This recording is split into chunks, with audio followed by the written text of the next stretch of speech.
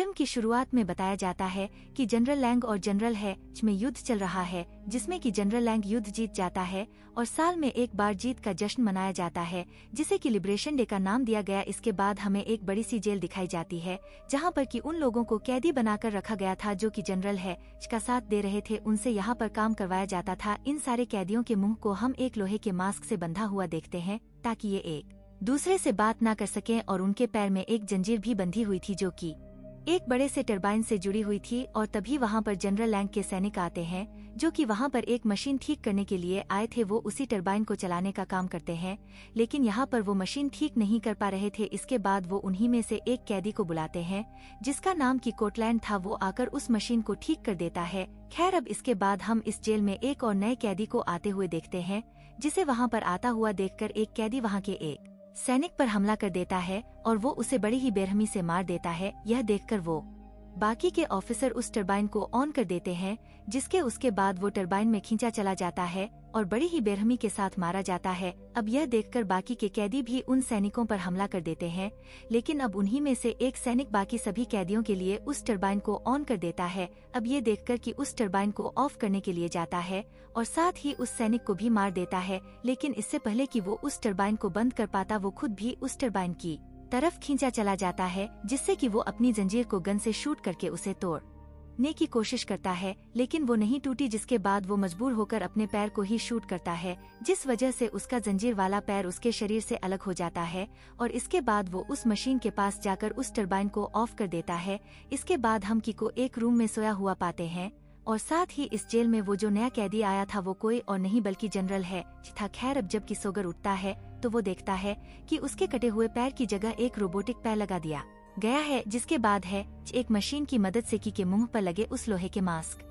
को भी निकाल देता है यानी कि अब वो बोल भी भी सकता था खैर अब हम आगे देखते हैं कि है एच की, की बहादुरी देखकर उसे एक मिशन पर जाने के लिए कहता है जहाँ पर कि उसे एक स्पेसशिप में जाकर जनरल लैंग के बारे में जानकारी इकट्ठा करनी होगी जिसकी मदद से कि जनरल है इस युद्ध को जीत सके और अब की भी उसकी बात मान जाता है क्योंकि जनरल है उससे उसके पिता को बचाने का वादा करता है जो कि अभी भी लैंग के कब्जे में थे और वो लिबरेशन डे पर बलि के रूप में मारे। जाने वाले थे, खैर अब इसके बाद सीन चेंज होता है और हम उस स्पेसशिप को देखते हैं, जिसका नाम है एरोहेड। यहाँ पर हम की को एक स्लीपिंग पोर्ट से निकलता हुआ देखते हैं, जो कि धीरे धीरे शिप के अंदर बढ़ रहा था और साथ ही जनरल है, जो उसे गाइड कर रहा था है, जो उसे सारे सिस्टम को ऑफ़ करने के लिए गता है। लेकिन सारे सिस्टम ऑफ़ करने के बाद की को कुछ ठीक नहीं लग रहा था यहाँ पर है, जो उस पर इस सब पर ध्यान न देकर उससे जानकारी सेंड करने के लिए कहता है। लेकिन सिस्टम फेलियर की वजह से की ये जानकारी उसे नहीं दे पाता। अब इसके बाद हम देखते हैं कि उस स्पेसशिप में जितने भी स्लीपिंग पोर्ट थे वो शिप से निकलकर नीचे एक प्लेनेट पर गिर जाते हैं जिसके बाद की भी जिस शटल के अंदर था वो वो भी मैनशिप से अलग होकर उसी प्लेनेट पर क्रैश हो जाता है। खैर अब की के होश में आने पर उसे पता लगता है कि शटल के अंदर सिर्फ़ बारह पर ऑक्सीजन ही बची है और बाहर निकलकर की थोड़ी दूर जाने पर उसे ओरी लिंडर की बॉडी भी मिलती है और उसी के पास एक स्लीपिंग पोर्ट भी मिलता है जिसमें से की एक लड़की बाहर निकलती है जिसे की, की एक ऑक्सीजन मास्क बनाकर उसे शटल में ले जाता है। खैर अब इनके जाने के बाद हम देखते हैं कि ओरी लिंडर की बॉडी को कोई खींच कर ले जा रहा है। दूसरी तरफ़ उस लड़की को होश आता है, जिसका नाम टेरन होलिंस था, जो कि एक बायोलॉजिस्ट होती है, जो कि होश में आते ही री सुपर कंप्यूटर में लॉग इन करती है। खैर, अब आगे हम की को देखते हैं, जिसे कि एक अजीब पत्थर जैसी चीज़ दिखाई देती है, जिसे कि टेरन सिर्फ़ एक पत्थर बताकर आगे बढ़ने के लिए कहती है, जिसके बाद टेरन की को बताती है कि ये कोई प्लेनेट नहीं है, बल्कि एक चाँद है, जिसके बाद टेरन को यह भी पता लगता है कि की है इसका भेजा हुआ एक आदमी है, टेरन इस बात पर ध्यान न देकर दोनों को एक साथ यहाँ से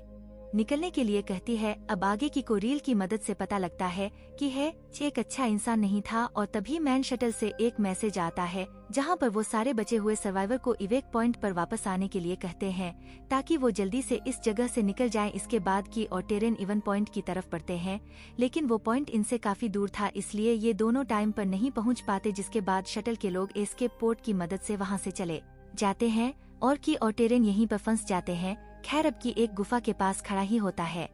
कि तभी एक क्रीचर उस पर हमला करके उसे अंदर खींचने लगता है। टेरन उसे बाहर निकालने की बहुत कोशिश करती है, लेकिन कि उस गुफा के अंदर खींचा चला जाता है, और अब टेरन डर के मारे शटल की तरफ़ भाग जाती है। खैर, बाद में टेरन हिम्मत करके वापस उसी गुफा के अंदर जाती है, और आगे जाने पर की उसे बिना कपड़ों के उसी पत्थर जैसी चीज़ के सामने मिलता है, जिसके बाद वो की को अपने शटल के अंदर ले जाती है। होश में आने पर की को पता लगता है कि उसे वहाँ गए हुए चार दिन हो गए थे, साथ ही अब उसे अपने शरीर पर चेंजेज फील होते हैं और उसका पैर भी। अब ठीक हो गया था और अब वो इस चाँद के सरफेस पर भी सांस ले।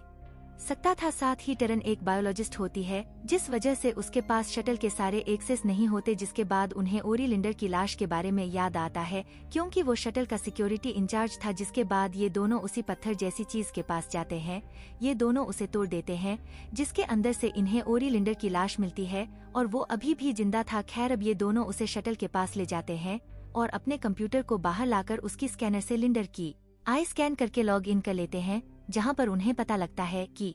लिबरेशन डे के सिर्फ़ छिहत्तर दिन बाकी रह गए हैं इसीलिए की के पास भी सिर्फ़ छिहत्तर दिन ही थे अपने फादर को बचाने के लिए, अब देखते ही देखते ओली एंडर को भी होश आ जाता है और वह अब अजीब सा बर्ताव करने लगता है और सीधा गन उठाकर की और टेरन पर शूट करने लगता है, जिस वजह से टेरन को गोली लग जाती है और इसीलिए कि गुस्से में आकर ओली एंडर को मार डालता है और तभी वो देखता है कि इस सब में उसे भी गोली लग चुकी है और इसीलिए वह दर्द की वजह से। वहीं पर बेहोश हो जाता है। अब अगली सीन में हमें दिखाया जाता है कि, की एक जगह पर बेहोश होता। है और कि अभी भी ज़िंदा था खैर अब होश में आने के बाद वह शटल की तरफ़ जाने लगता है जहाँ पर कि बाहर उसे दो कंकाल मिलते थे हैं जिसमें कि उसे लगता है कि इनमें से एक लिंडर का है और शायद दूसरा टेरेन का खैर अब शटल के अंदर जाने पर रीफ उसे बताता है कि उसे गए हुए चौंतीस दिन हो गए हैं और अब लिबरेशन डे में सिर्फ़ बयालीस डेज़ बाकी हैं, जिसके बाद अब हमें यहाँ पर ये भी समझ जाए कि अब की के पास रीप के अलावा और कोई भी नहीं था जो कि उससे बात कर। सके खैर अब रात हो जाती है और की को एक अजीब सी आवाज़ आती है, जिसे सुनकर की अजीब सा बर, ताव करने लगता है और अब वो सीधा शटल के बाहर भागने लगता है और यहाँ आने पर उसे एक अजीब सा क्रिएचर दिखाई देता है जिसके के बाद वो दूसरी तरफ़ भागने लगता है और अब थोड़ी दूर भागने के बाद उसकी बॉडी भी उसी क्रिएचर में ट्रांसफॉर्म हो जाती है और ये सीन यहीं पर ब्लैक आउट हो जाता है जिसके बाद हमें आगे फिर उसी शटल का सीन दिखाया जाता है जहाँ पर की, अपने कंप्यूटर सिस्टम रीफ को उस क्रिएचर को अपने अंदर से निकालने के लिए कहता है और वो अपने आप को चोट पहुँचाने की भी कोशिश करता है जिसके बाद रीफ अब उसे बताता है कि लिबरेशन डे को दो दिन पहले ही सेलिब्रेट कर लिया गया है। खैर, अब इसके बाद हम तीन साल बाद का सीन देखते हैं, जहाँ पर किकी अब उस प्लेनेट पर रहना सीख गया था और यहाँ पर सिर्फ़ उसका कंप्यूटर सिस्टम रीफ ही उसका एकमात्र दोस्त था। खैर, अब रात के समय की एक जगह पर आ जाता है, जहाँ पर की बहुत सारे जुगनू होते हैं, जिसे देख कर की बहुत खुश होता है, लेकिन वापस आने पर की अपने आप को एक जंजीर से बाँध लेता है, जिसकी वजह से एक क्रिएचर यहाँ पर आ जाता है और यह की का एक प्लान था उसके यहाँ आते ही कि उस क्रीचर पर शूट कर देता है, जिससे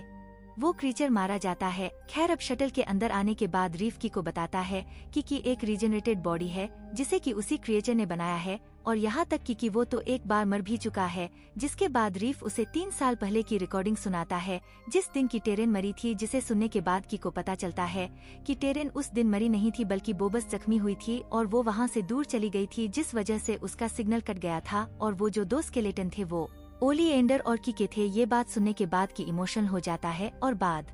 में वो अपने दोस्त रीफ के साथ मिलकर टेरन को ढूँढने का फैसला करता है। अब अगले दिन की रीफ में कुछ चेंजेज भी करता है, जिससे कि अब वो फ्लाई कर सकता था और इसके बाद ये दोनों टेरन को ढूँढने के लिए निकल जाते हैं, जिसके बाद ये दोनों एक बड़े से टनल के पास पहुँच जाते हैं, जहाँ पर अंदर जाने के बाद रीफ उस टनल को स्कैन नहीं कर पाता क्योंकि इस जगह की इलेक्ट्रोमैग्नेटिक फ़ील्ड बहुत ज़्यादा तेज थी। अब यहाँ पर की के ऊपर फिर से एक वैसा ही क्रिएचर हमला करता है, जिसका की भी सामना करता है और उसे जख्मी कर देता है और अब यहाँ पर उस क्रिएचर के जख्मी होने पर की को यहाँ से एक बहुत ज़ोर से आवाज़ आती है, जिसके बाद आगे जाने पर की अपनी और लिंडर की रिजेनरेटेड बॉडी को पत्थरों के बीच में पाता है, जिसके बाद वो लिंडर की बॉडी को मार देता है, जिसके बाद वो क्रिएचर मारा जाता है, लेकिन वो अपनी बॉडी को नहीं मारता, यहाँ पर उसे अपना वो रोबोटिक पैर भी मिलता है, जिसे वो अपने साथ लेकर टनल से बाहर निकल जाता है, जिससे उसे पता लगता है कि मैग्नेटिक वेव्स उसी मशीन से आ रहे हैं, इसके। अंदर देखने पर की को एक ग्रेनेड अटैच मिलता है, जिससे उसे समझ आता है कि